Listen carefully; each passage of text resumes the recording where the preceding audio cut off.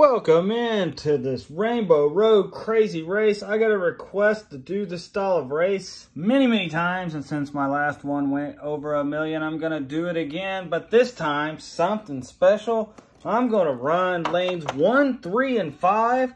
That will be Team Nintendo. And lanes two and four are going to be wacky racers. So you're going to want to watch the chaos go down. Many, many wrecks. They'll make the second turn through the question mark blocks. And they're turned on, the power-ups. Either one, two, three, four, five will light up at the end. That's your winner. If it's two or four, it's Wacky Racers. If it's one, three, or five, it is Team Nintendo. Let's go ahead and get it going. I have to get here and pull this big warp pipe off at the right time. Here we go. Can I do it? Whoa, and they're off. It's a mayhem. Lane 5, Team Nintendo's your winner. Look at that. Double blocks for the Wacky Racers. How unfortunate. Never seen anything. Look at the mayhem. Cars off the track.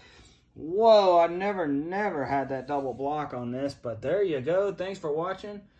Have a great time.